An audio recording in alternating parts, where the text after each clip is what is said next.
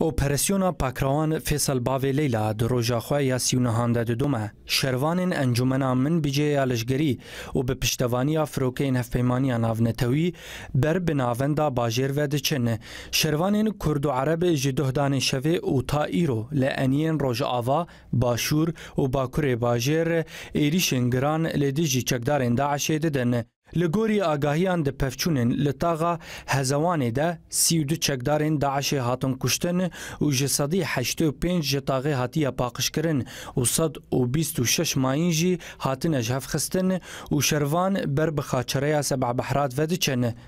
Li eniya Bakurê Bajêr şervanên Encûmena Min Bicê ya Leşgerî ber bi Xaçereya Sebeh Behrat ve diçin û di wê pêşveçûnên de şervanên Kurd û Ereb ê derdora demjimêr çarê sibehê êrîşî bargehên DAIŞ'ê kirin û pevçûnên dijwar di nav wan de rû dan.